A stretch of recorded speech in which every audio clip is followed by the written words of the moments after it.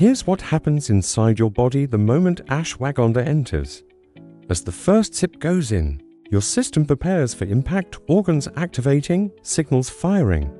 In the stomach, ashwagandha mixes with digestive acids, breaking down fast so its nutrients can be absorbed. Deep inside the intestines, tiny compounds travel through the villi. Your gut pulls them in like fuel, sending them straight into the bloodstream. These nutrients flow through your entire body, powering your organs, calming your stress response, and rebalancing your system from the inside out.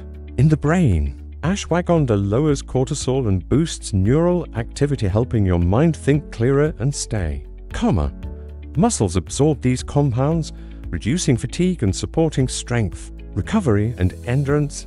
In the gut, it promotes a healthier microbiome supporting digestion, hormone balance, and stress control. And across the whole body, you feel steady energy, not a spike, just a stable inner calm.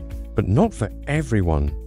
Some people experience stomach irritation, especially on an empty stomach.